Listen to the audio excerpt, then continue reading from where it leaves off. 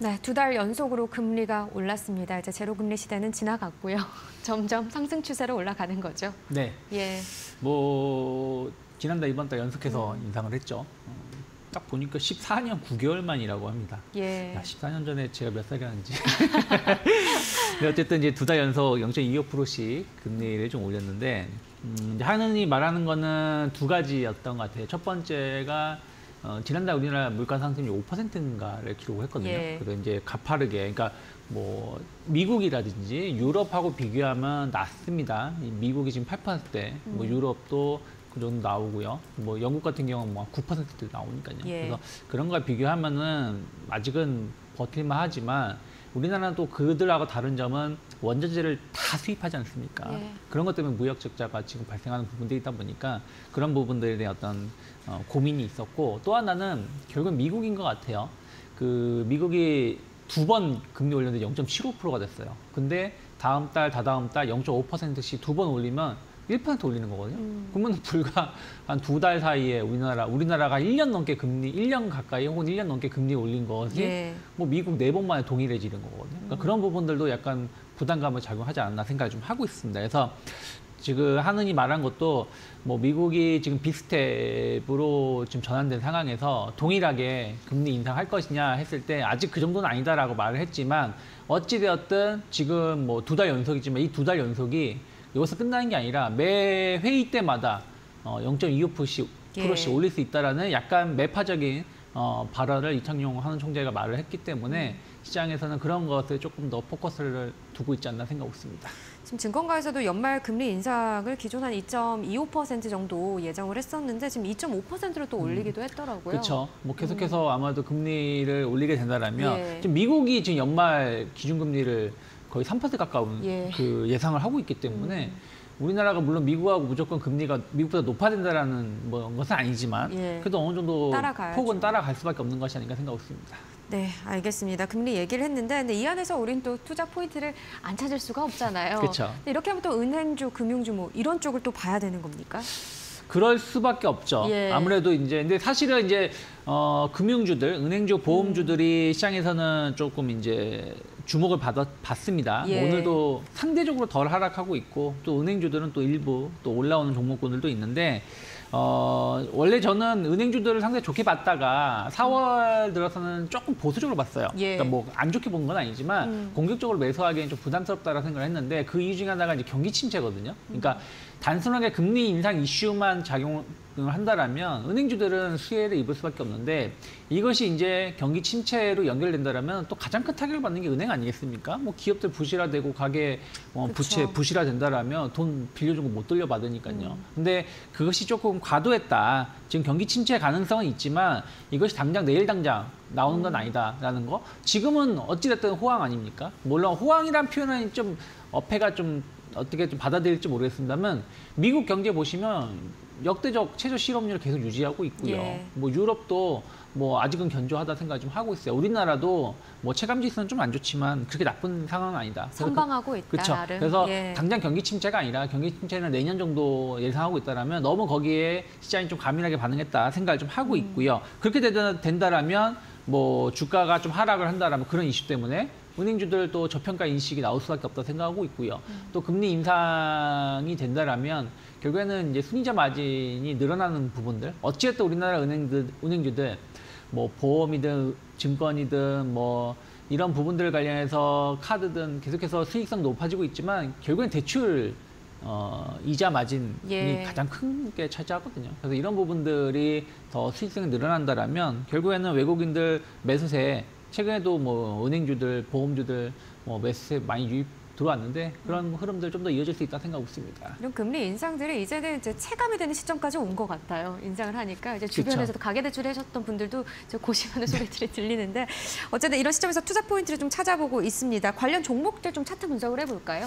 네, 뭐 일단은 뭐 대표적으로 뭐 KB금융 같은 기업들 어, 좀 지켜보실 필요가 있죠. 음. 예. 음, 오늘 뭐 주가 상승에는 실패를 했습니다. 시장이 음. 막판에 좀 흘러내리는 바람에 하지만 어찌됐든 최근 매물대 계속해서 쌓아가고 있는 부분들 이 돌파 가능성 좀 대비하실 필요가 있지 않을까 생각을 좀 하고 있고요. 그리고 또 뭐 우리금융지주 같은 경우도 예. 항상 이제 은행 하면은 종합금융사냐 아니면 그냥 단순하게 그 은행 업만 어, 하고 있느냐 이런 예. 식으로 해서 좀, 좀 구분을 해서 어, 많이 보는데 뭐 우리금융지주 같은 경우도 금리 상승에 가장 큰 수혜를 입을 수 있죠. 뭐 최근에 약간 안 좋은 이슈가 있었습니다만은 그 정도 금액은 뭐 코끼리 비스켓 정도도 안 되는 수준이기 때문에 뭐 그런 예. 걸로 우리 금융 주가에 지주가 예, 영향을. 미치거나 예. 실적에 어떤 영향을 미치거나 하지 않을 것이다. 또 그렇다고 그것 때문에 고객들이 이탈하지 않는다 음. 어, 생각을 좀 하고 있고요. 그리고 이제 보험주들 좀 주목하실 필요가 있죠. 계속해서 어뭐 현대해상, 뭐 DB 손해보험 이런 기업들 보시면 예. 최근에 수급 나쁘지 않거든요. 그런데 아니 외국인과 기관의 지금 쌍끌이 매수도 네. 계속 연속적으로 나오고 있고요. 네. 외국인들이 이렇게까지 들어오는 게 정말 대단하네요. 그렇죠. 예. 왜냐면 금리 인상 자체가 음. 보험주들의 영업 환경을 상당히 좋게 만드는 부분들이 있거든요. 손해율 감소라든지 이자 수익 증가. 음. 왜냐면 보험사들이 이제 보험금을 받으면 어 이걸 은행에 예치해 놓거나 아니면 이제 뭐 부동산 대출이라든지 이렇게 여신을 좀 해주거든요. 예. 근데 금리가 오르게 된다라면 내가 받는 은행 금리가 높아지고 음. 또 보험 대, 그 대출해주는 부분들 또 수익성 좋아지는 거 아니겠습니까? 반면에 보험료는 금리가 낮을 때 높은 보험료를 책정해놨기 때문에 보험료가 금리가 높아진다고 해서 보험료 떨어지는 게 아니거든요. 한 번 보험료가 결정되면 이건 평생 보험 계약이 끝날 때까지 가는 거기 때문에 그러한 것들이 수익성을 상당히 증가시킬 수 있다 예. 생각하고 있습니다. 그래서 현대해상 최근에 약간 손해율에 대한 우려감 때문에 해- 해상 해 저기 손보사들이 조금 조정이 받았지만 음. 충분히 이겨낼 수 있다 생각하고 있고요. 그리고 삼성생명도 은근히 소위 소문 없이 외국인들 상당히 많이 매수세를 좀 보여주고 있어요. 특히 지금 5거래일 연속으로 양매수 붙고 있습니다. 네, 예. 예. 특히 그 생명사들이 의외로 시장에서 주목을 많이 못 받았었는데 음. 어쨌든 금리 인상 관련해서도 상당히 생명사들이 의외로 그 수익 개선되는 게 더 많이 있는 부분들도 있기 때문에 예. 좀 그러한 것들 한번 주목해서 좀 보시면 좋지 않을까 생각하고 있습니다.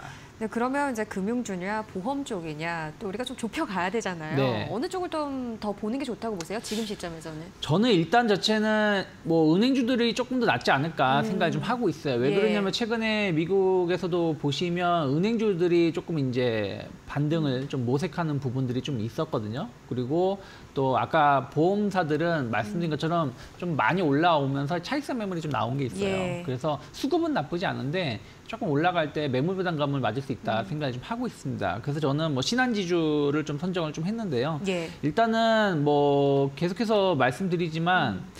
그 신한주주냐 KB금융이냐 누가 1등이냐 솔직히 그거 뭐 얼마 차이 나진 않지만 음. 자존심 싸움 계속 벌이고 있는데 최근에 보면 신한지주 그런 것이 계속 좀 좋은 결과 보여주고 있다 생각을 좀 하고 있고요. 어 그리고 이제 계속해서 이제 실적은 좋게 나오는데 주가가 좀 못 올라갔고 수급은 최근에 보면 외국인들 좀 매수는 조금 덜해요. 다른 은행주들과 예. 비교하면 근데 기관들이 계속 꾸준하게 매수가 들어오고 있거든요. 그러면서 주가가 좀 방어가 되고 있습니다. 다른 은행주들 보시면 한 달에 레벨 다운 되어 있는데 보험주들 마찬가지고 신한지주는 차트를 보시면은 딱 고점대에서 뭐 방향성 없이 10% 행보했습니다. 그러면서 수용을 했기 때문에 외국인들 수급이 조금만 어, 들어와 준다라면 충분히 고점 돌파 가능하다 생각하고 있고 또 비은행 영업 부문이라는 것이죠. 보험이라든지 카드라든지 증권이라든지 이런 부분들에 관련해서 신한주가 상당히 그 KB 금융 대비해서 좀 앞서가 나가는 게 여러 가지가 있거든요. 예. 뭐 카드 같은 경우도 뭐 역대 뭐 독보적인 점유율 아니겠습니까? 그래서 그런 것을 보신다라면 조금 주목하실 필요가 있다 생각을 하고 있고 저는 충분히 시장이 조금 뭐 요즘에 퐁당퐁당하죠. 음. 뭐 하루는 오르고 하루는 떨어지고 하면서 일희일비하지만 어쨌든 바닥을 다지고 있고 어, 상승 전환으로 조금 더 어, 무게감을 놓고 본다라면 충분히 고점 돌파 가능성이 있다. 그래서 처- 현재가 공략 충분히 저는 가능하다 생각하고 있고요. 일단 단기 목표가는 한 4만 7천 원 정도 그리고 손절가는 일단 최근에 형성됐던 저점 4만 원을 크게 이탈하지 않는다라면 뭐 분할 매수해 볼 수 있지 않을까 생각하고 있습니다. 네, 알겠습니다. 신한 지주를 꼽아주셨습니다. 오늘 장에서 어, 기관은 계속해서 어제까지는 매수세를 좀 유입이 됐었는데 오늘은 매도로 좀 전환이 됐고요. 외국인들은 반면에 또 매수로 전환된 그런 기조를 보이고 있습니다. 0.24%대 낙폭 42,250원의 흐름인데 일단 목표가 47,000원으로 들여보도록 하죠. 자, 신한 지주까지 듣겠습니다. 고맙습니다. 고맙습니다.